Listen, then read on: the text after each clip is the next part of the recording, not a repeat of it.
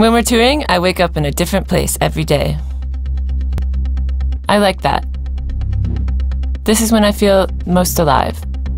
Music takes you places in both senses. Sometimes, after a gig, we let the guys take our equipment, and we take our bikes and we ride to the next show. I have four bands that I play in, but with Chris, our lead guitarist, I've been making music for over 15 years now. We stick together on this ride.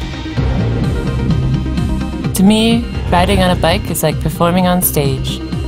You're facing this audience like wind blowing in your face, making you feel the energy that you're getting back.